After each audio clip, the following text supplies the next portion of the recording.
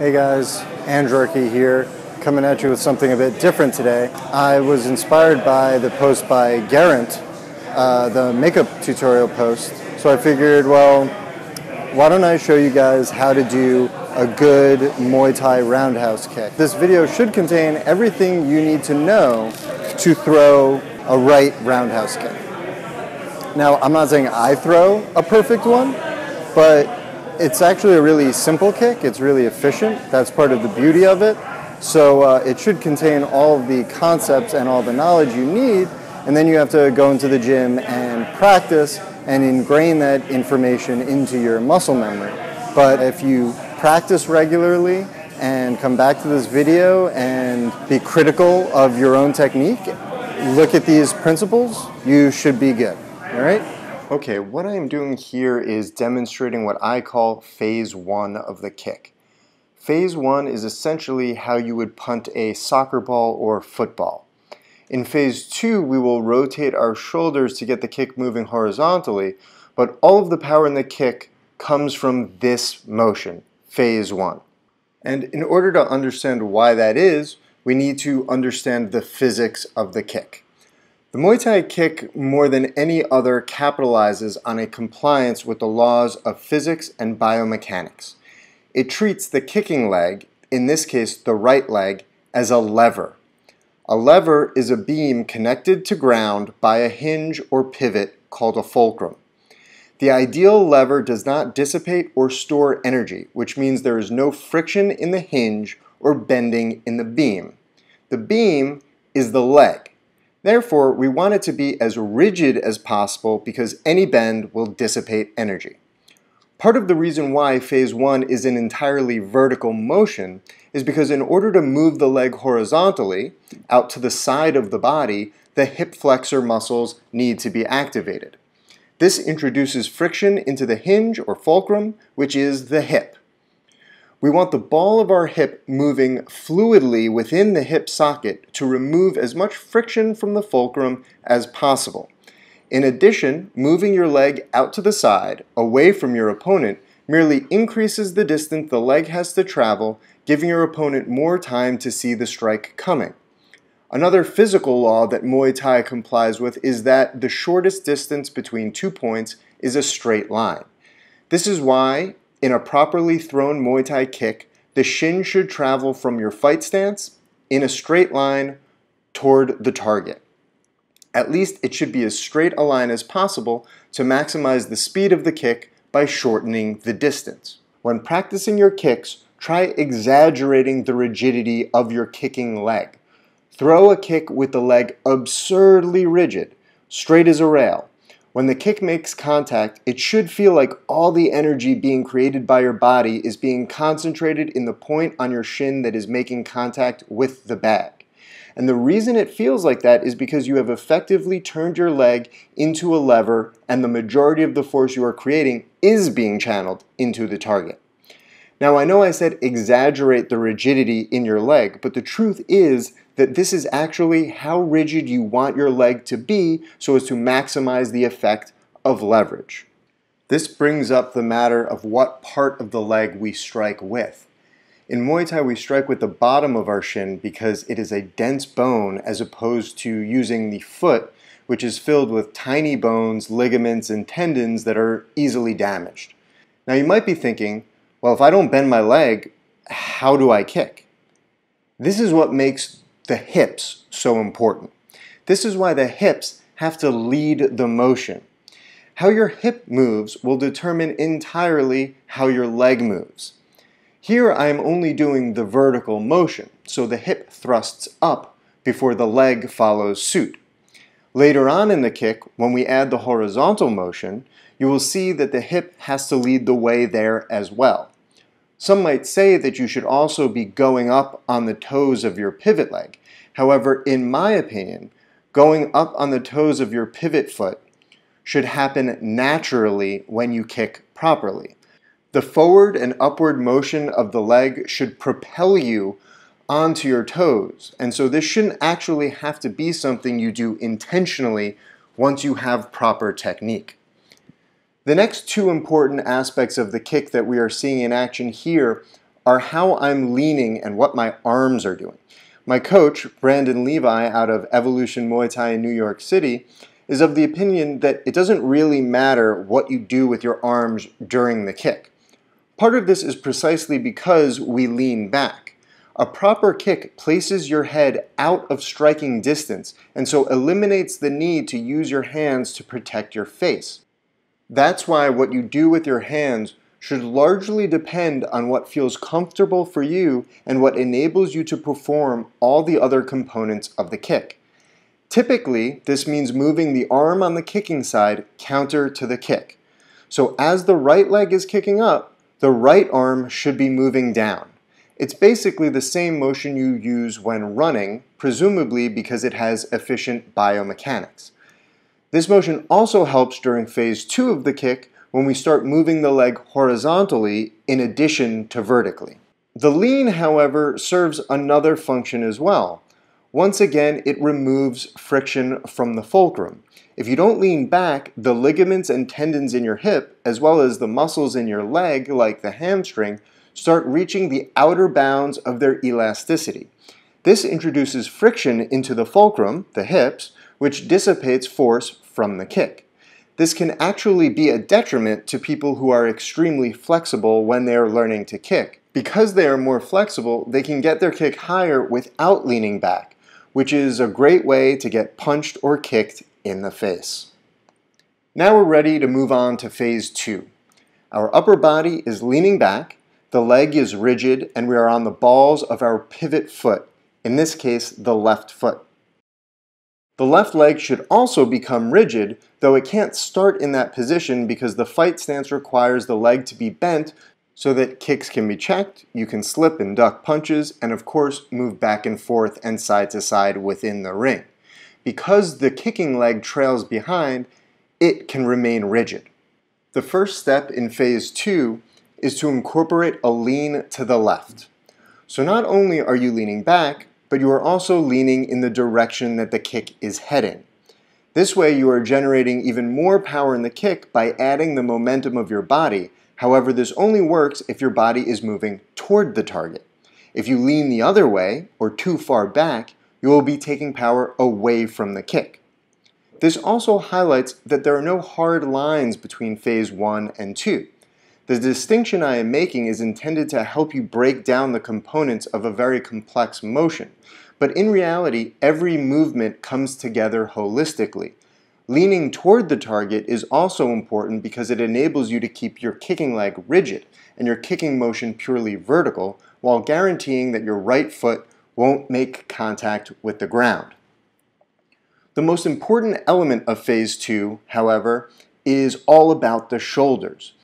Obviously, we need to apply some horizontal motion to the kick, otherwise we won't be able to hit the target. Now it's important to point out that we don't need much. Too many people hook their kicks so that the shin makes contact with the body at a 90 degree angle. Put another way, the leg is moving parallel to the ground when it makes contact. There are several problems with this. First, by looping the kick, you are forcing the leg to travel more distance because the shortest distance between two points is a straight line. This means the kick takes more time to reach its target, which gives your opponent more time to defend themselves. But more importantly, all of the momentum of the kick is traveling vertically. The more you redirect the kick horizontally, the more you reduce this vertical momentum and consequently the power of the kick. The kick should make contact with the target at something closer to a 45 degree angle. Before going on to more technique, I'd like to set some time aside to talk about the target of the kick. Most people tend to kick too high in practice they tend to aim essentially for the upper arm. But there are really only three targets for the kick. The upper leg, the portion of your body between the hip and the elbow, and the head. The head is an extremely low probability target, so the vast majority of kicks should be targeted at the body and the legs. Since we're talking about the regular right kick, which has mechanics significantly different from the leg kick, I will focus mainly on the body. Obviously, the hip is a very dense bone, so kicking the hip isn't going to do much damage and may even hurt yourself. The upper half of the torso is also protected by the ribs and the arms when your opponent is in a proper fight stance. So that really only leaves about 3 inches of a target. This is where we are trying to slip our kick into. The added benefit of this position is that it enables us to maximize the body mechanics and physics that I talked about earlier. This is why the body kick is also the most powerful kick. So when you're practicing your kicks, make sure you are making contact with the bag just below your own ribs and try to be as consistent and precise as possible because the target is so small. Also, don't forget that your opponent will be crouched in their fight stance, so your kick doesn't have to go as high as it would if they were standing straight up. For this reason, the kick doesn't have to go very high at all. Let's get back to the technique, specifically what you're going to be doing with your shoulders. Rotating your shoulders 180 degrees enables you to apply additional torque to the fulcrum, the hip, and actually add power to the kick while creating horizontal motion and without activating any of the muscles in the hip. In other words, the ball of the hip should still be floating freely within the socket. The hip should be leading the kick up until the moment of contact. Think about a baseball player swinging a bat. The handle of the bat moves through space first, guiding the bat along its trajectory until the bat makes contact with the ball, at which point the handle and the end of the bat are exactly perpendicular to the desired trajectory of the ball. In the same way, the hip and the point of contact of the shin should be perpendicular to the desired trajectory of the force of the kick, which is straight through the middle of the target. Our goal is for the force of our kick to penetrate as deeply into the core of our opponent as is possible, thereby inflicting the most amount of damage. If executed properly, at the moment of contact, your body should resemble an upside down Y shape, where your torso is the leg of the Y and your legs are the arms.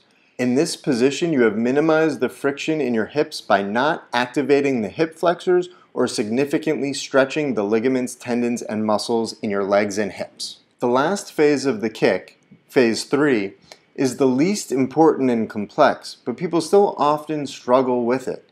In this phase, the kicking leg is returned to the fight stance.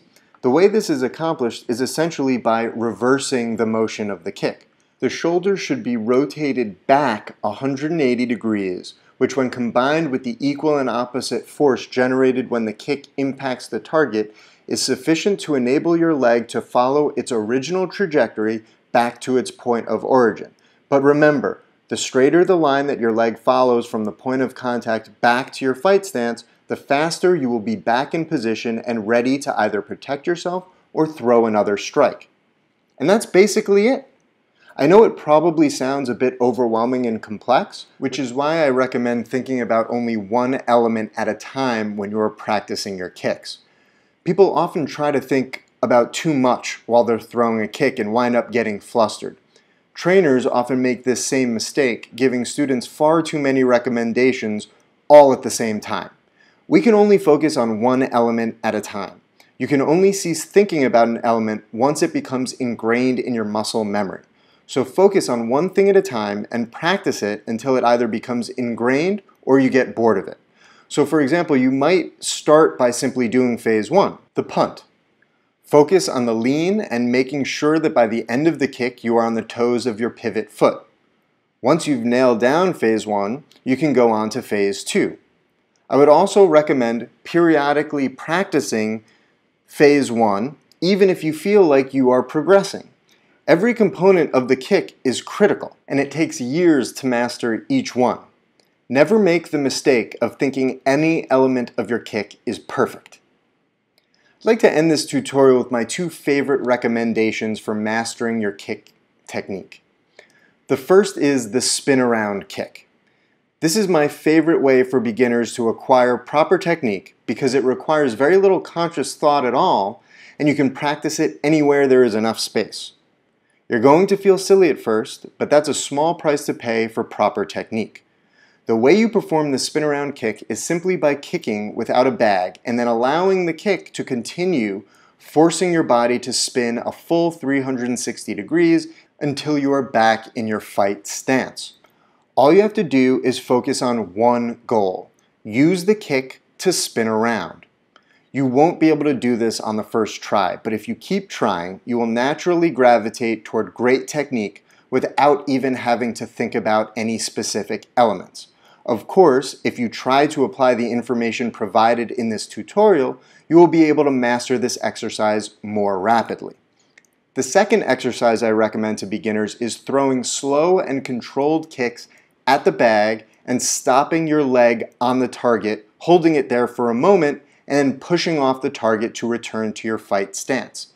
If you cannot do this, you are not applying proper technique. I have seen many people attempt this exercise and then give up, claiming they are simply not flexible enough or not strong enough to do this. This is incorrect. This requires zero flexibility or strength. The reason they can't do it is because they are attempting to use tiny muscles, mainly the hip flexors, to support the entire weight of their leg. Alright, in my opinion, this tutorial has everything you need to know to throw a great Muay Thai right kick. This kick is not only extremely powerful, but it is also very good for self-defense. It's hard to see coming and anyone not trained in Muay Thai or mixed martial arts simply won't even know how to defend against it. In addition, since it's directed at the body, it will immobilize your opponent while greatly diminishing the risk of the long-term damage that can come with striking someone in the head. But the power of this kick must be respected. It should only be performed in a controlled setting with skilled opponents or in self-defense. Anything else would be extremely irresponsible. Thanks for watching. See you soon.